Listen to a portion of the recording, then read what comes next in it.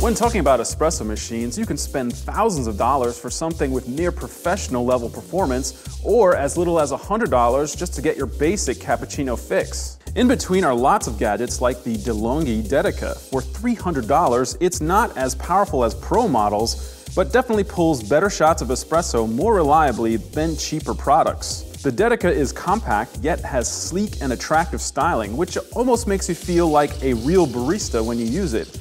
There's a nifty cup warmer on top, a portafilter for pulling single and double shots, and a steam wand which makes it simple to froth milk.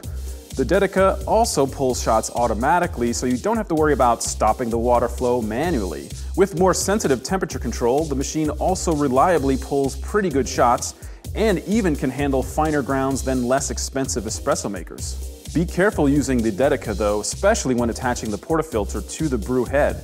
It's a little tricky, and many times I accidentally pressed one of the brew buttons while twisting the portafilter into place. That pretty much ruins the shot, forcing you to start from scratch. The machine will get clogged too by very fine grounds, so don't expect mind-blowing taste from light roasts. For $300, you can buy a top-of-the-line drip brewer from Technivorm, Bonavita, and others. But if you're really hooked on espresso, the Dedica offers performance that's a cut above budget models. For more, read the full review at cnet.com. I'm Brian Bennett for CNET Appliances.